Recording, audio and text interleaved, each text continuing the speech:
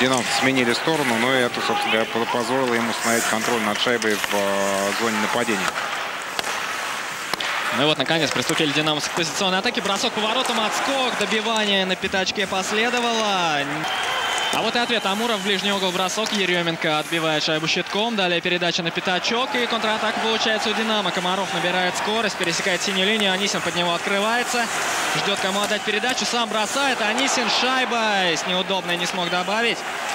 Сохраняет шайбу Михаил. Снова пошел в обводку. Здорово просто действует. И сейчас Мурыгин игру останавливает. Именно такое преимущество. Да, и в то же время броскам. по своим воротам в это время броски не производятся. Дружалик шайбы и забивает, забивает. э, Этот нападающий Хабаровского Амура не уходил со льда без набранных очков.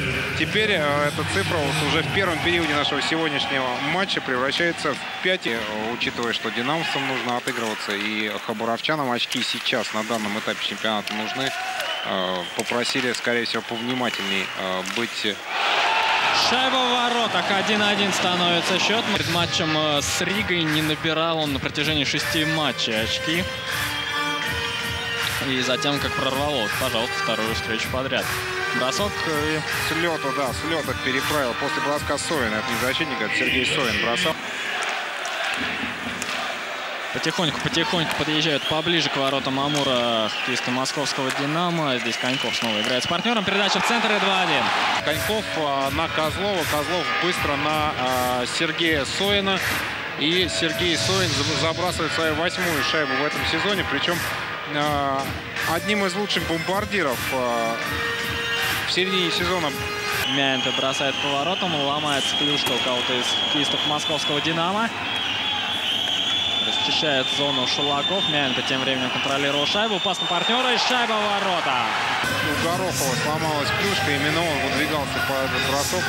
А здесь просто великолепный по точности бросок у Никулина получился. Дальний верхний угол.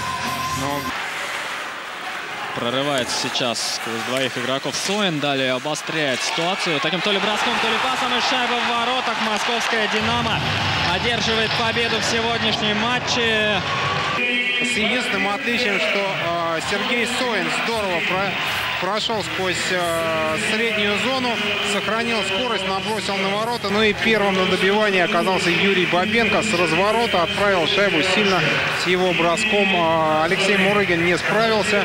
Ну и в результате третья шайба московского «Динамо», заброшенная Юрием Бабенко, приносит победу московскому «Динамо» в овертайме.